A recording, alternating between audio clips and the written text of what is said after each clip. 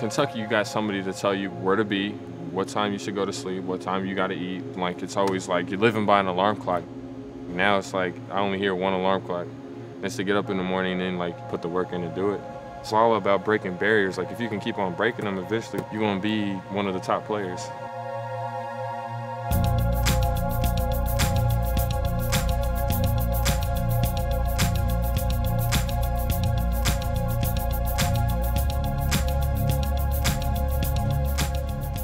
Like you got the greats, you got like the LeBrons, you got the Kobe's, like they seen themselves change. Your body's just making your money. My goal coming in was like to gain 20 pounds and put five inches on my vertical. In high school, you was working out with a dude that was, you know, pushing you like where you didn't think you can go anymore. And then you get to college and they're pushing you to another level. There's always something that you can push through or something that's not gonna stop you from getting where you wanna go.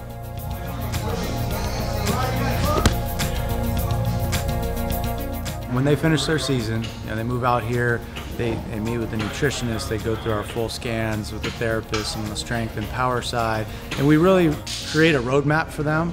You know, with a guy like Willie, he's got so much talent, but at the end of the day, when you mix talent and work ethic in a system that's built, customized for him, that's when you can see some cool results.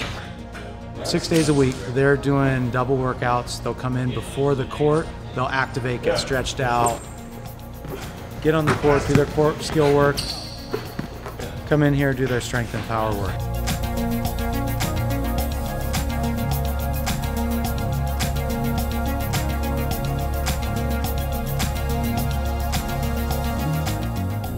Like you're not ever taking a day off, you're not ever not working. The dudes that don't work is like the dudes that just hang around. It's tough, you know, they, they're grinding on the court, and so we're pulling everything we can out of them.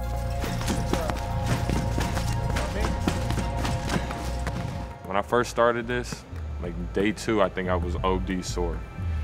Like, and we supposed to go run dunes or something like I could not, no, not running dunes. I was too sore.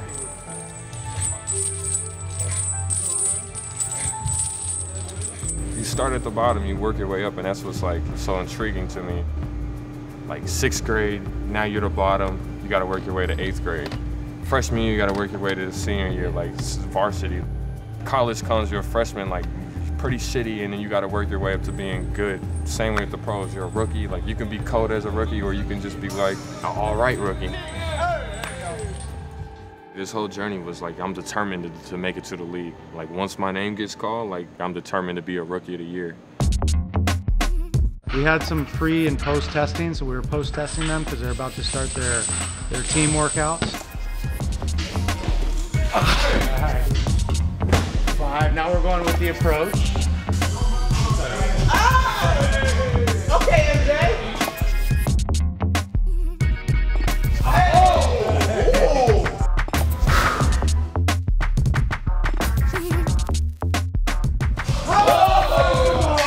Nice job, man. That's that's a great improvement right there.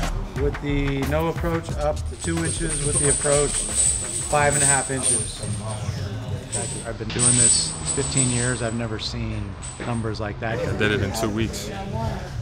Thinking, what can I do in three months? I need another goal. Like I never lifted weights, but now that like I'm seeing a change in my body, like goes back to breaking the barrier, like never ending cycle of it. I have a unique situation.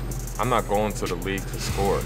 Getting drafted because I can defend, you know, two through five, rebound and block shots and, and be an athletic dude. But if I had a jumper or, a, you know, a three, make free throws and score the ball when you're throwing them, now that's a plus.